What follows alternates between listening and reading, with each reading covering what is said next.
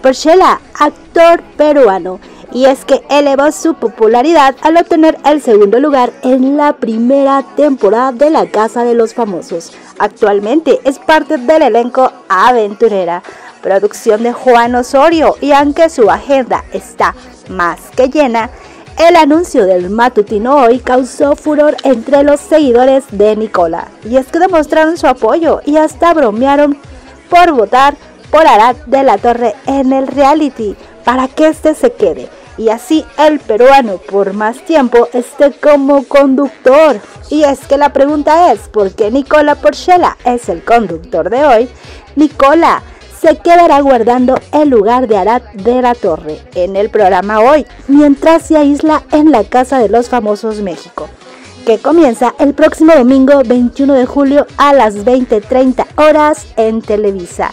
El nuevo conductor recibió mucho apoyo en redes sociales y muchos aseguran que es una estrategia de la misma televisora para que no saquen a Arad en la primera semana.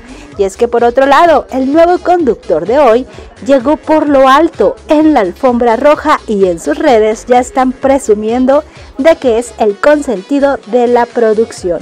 En Instagram ya están iniciando una campaña para votar masivamente por Arad de la Torre para que se quede más tiempo recluido en el reality. Así podrán ver más de la conducción de Nicola de lunes a viernes. ¿Tú qué opinas? ¿Te gustaría verlo como nuevo conductor del programa hoy?